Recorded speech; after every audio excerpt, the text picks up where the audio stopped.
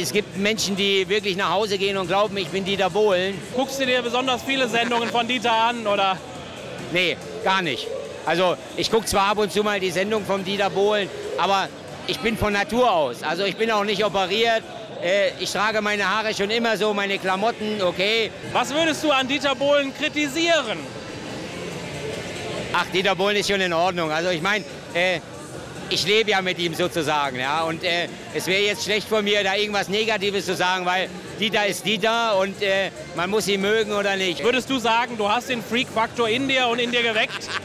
ja, ja, ich habe mega geilen, habe ich hinter mir, also äh, oder vor mir oder wie auch immer, weil also äh, so abgedreht wie ich bin, äh, das, das gibt es eigentlich nicht nochmal. Außer das Original natürlich.